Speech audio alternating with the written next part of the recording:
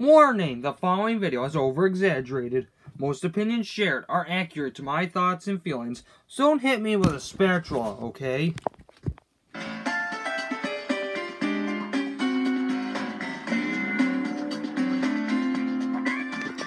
Triggered. Somehow the tile screen looks better than the Wii channel. Oh boy, there's quizzes in this game. But for people who don't don't really watch SpongeBob that often, why would you add that into a game? Oh boy, there's robots in this game. Maybe if they worked, looked more scary, they would have been more threatening. Why does SpongeBob lick the jelly with his tongue to slide down the slide? Like, does he like the taste of it or something? And there's a fish that tells you what to do. Speaking of the fish, why does he have to be so rude every time you don't play the boss right? Take a chill pill, dude.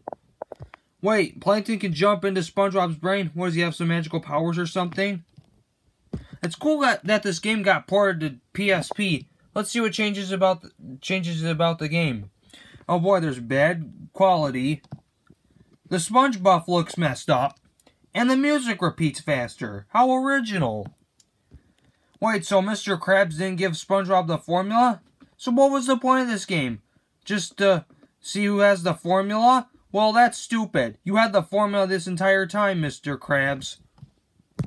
Speaking of Mr. Krabs, his voice actor is pretty messed up in this game. That's kind of sad.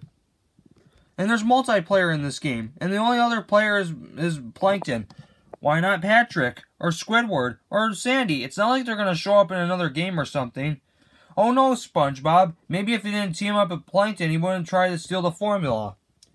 What's the deal with this summary guy? I've really done nothing to him, so why does he have to be a jackpot? I, I'm telling you, the last Sleeping Patrick to get is going to be hard to get. Oh no, SpongeBob. Maybe if you didn't call Patrick Tubby, he would have he would have not turned into a robot. Falling into water means instant death. You know SpongeBob is underwater, right?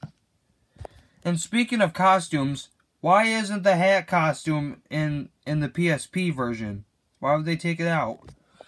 Well, that's my first trigger video. If you need to be untriggered, go check out my SBG4 videos. See you next time, kids.